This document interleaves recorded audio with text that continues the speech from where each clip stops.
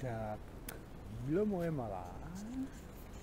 Co takhle, když tě pozval do zahrady svého zámku? To by si koukala. Jakou krásnou louku nám tady díla zahradnice udělala. Jo, jsem tam kolem té zahrady podivné postavy běží, udýchané, upracované, jak jsou tvrdé, je své fitness. My ale tady sníme a hledíme na tu krásnou louku. A co ty čmeláci dělají? Mhm. Když se kolem těch žlutých krásných věží toulají ty čmeláci, jo?